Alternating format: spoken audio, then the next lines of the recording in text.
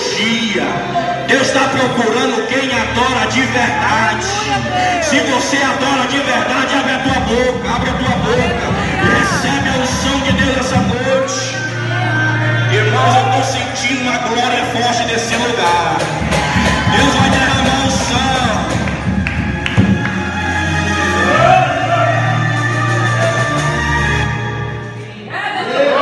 É assim que Deus faz.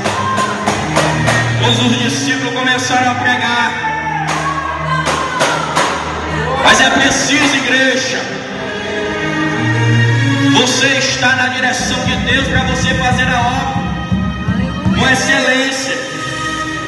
Porque quem não se lembra, irmão, dos discípulos, que quando Jesus estava carregando aquela cruz, quando Jesus estava a caminho da crucificação, os seus discípulos começaram a abandonar ele. Mas a Bíblia diz que um foi acompanhando Jesus. A Bíblia diz que João era amigo de Jesus. João era aquele homem que andava passo a passo com Jesus. João era aquele que colocava Jesus no peito. João era aquele rapaz que precisava, ele sempre estava ao lado de Jesus. O que eu aprendo aqui, querido, o que nós precisamos hoje para o século 21 é ser amigo de Jesus,